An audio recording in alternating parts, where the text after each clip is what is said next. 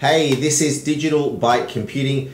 Let's go through the steps on how to download Ubuntu Server off the internet completely free. We're going to download that ISO and then we're going to boot it and install it in a VMware environment. So you can actually build a VM running Ubuntu.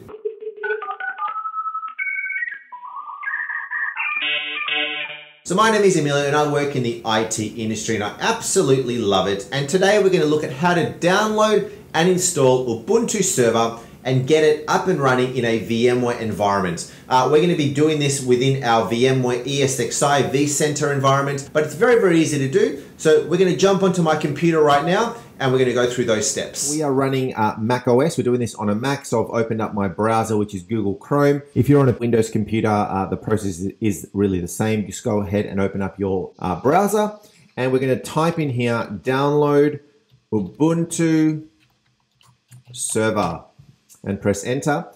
Uh, select the very top option. If that's the correct one, it should be ubuntu.com and it's going to say download Ubuntu server. So go ahead and select download, making sure that this is Ubuntu server. The version, of course, will be different if you're watching this in the future. The download should automatically start in the background. Uh, and let's just wait for that ISO to download and we will check back once that is complete. So Ubuntu server has now downloaded. I've actually now copied it to an external uh, hard drive space that I've got and the installer is right here. So this is the server edition of Ubuntu. And now what we're going to do is we want to now log into our vCenter or directly into an ESXi host. So we are going to log in as root right here and into our ESXi host. So you will see I do have some existing VMs already in here. Um, but obviously we now want to create a brand new VM with Ubuntu server. So first thing that we need to do is we need to get the ISO uploaded into the data store. So this is the data store that you've got configured. So under the storage area right here, you'll see that I have two data stores. Um, it doesn't matter which one you upload it to, but ideally the data store that contains most of your VMs, your data, if you have a location for your software, things like that. I've got my primary data store here being prod NAS. So all I'm going to do is I'm going to right click on this data store and say browse. So within the prod NAS, you'll see it's a directory structure of everything that is now sitting on that prod NAS. If you don't already have a folder like this, I would re maybe recommend creating a folder called ISOs or software or something that is relevant to you. And inside this folder, we've got a number of things already in here, including my Ubuntu server right here.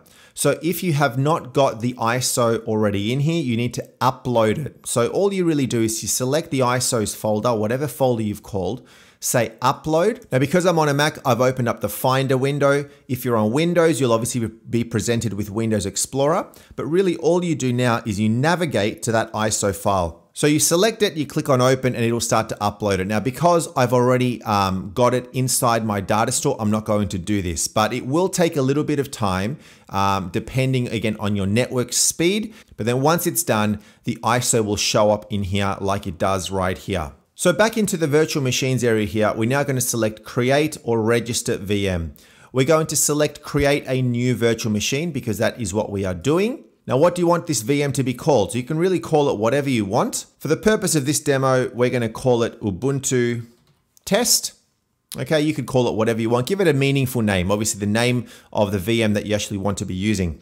Compatibility, uh, you're going to select the version of ESXi that you have running in your environment. So if you have a mix of 6.7, which is the version that I've got, and you've got other ESXi hosts that are running on 6.5 or 6 or 5.5, then selecting 6.7 will not allow you to move that VM to a host that is running an earlier version of this uh, ESXi version. So select the version that is um, compatible with all of your ESXi hosts. So in my case, it's 6.7 because all my hosts are 6.7. Guest OS, you select Linux. Guest OS version, we're going to scroll down to the bottom and select Ubuntu Linux 64-bit because that's the version that we are selecting.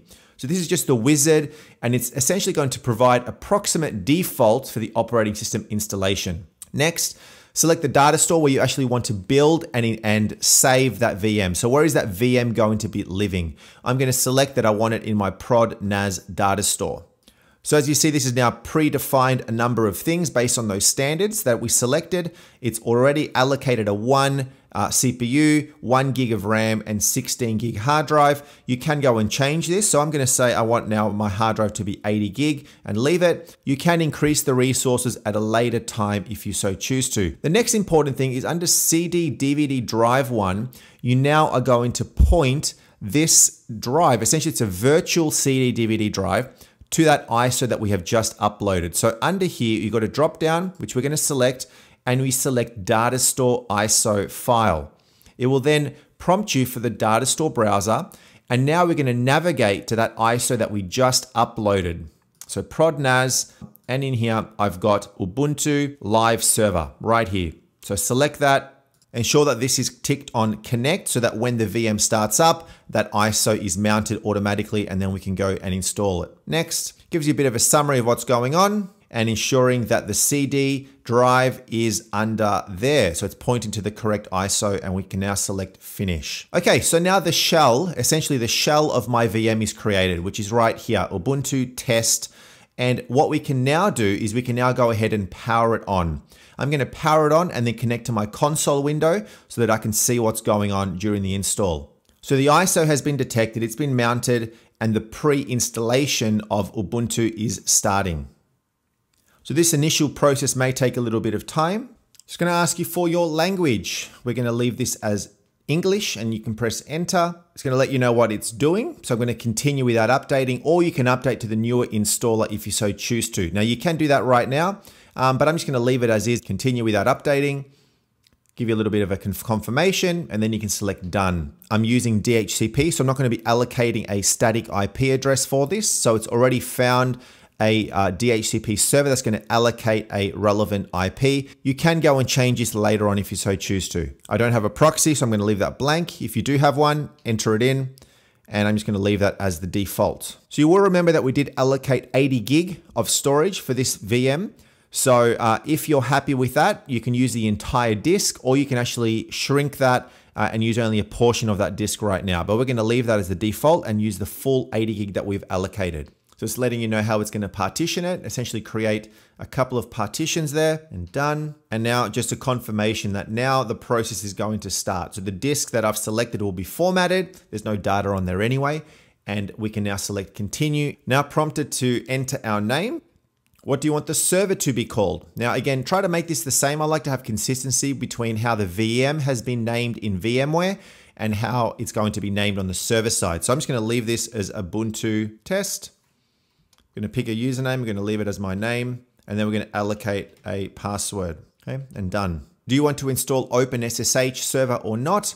Uh, we're going to leave that blank. We don't want to do that right now. So you're now presented with a few different options to add some additional uh, snaps in the server environment, essentially additional add-ons and software that you can now go and configure. If you do want any of this stuff installed right now, you can do that right now or you can just leave a blank and just go done. Uh, you can go and install these at any time later on. Okay, so now it is installing the system. You'll see that it's installing the kernel and it's gonna take a little bit of time to go and configure your Ubuntu server.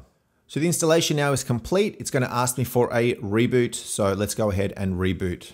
Now, because the VM itself, the actual config of the VM has that ISO mounted, what we're gonna need to do is we need to shut down this VM and uh, unmount it from the settings and then power it on again. So let's just go ahead and do that. So we're just gonna select that VM and click on power off. And yes, okay, now we're gonna right click on it, go into edit settings.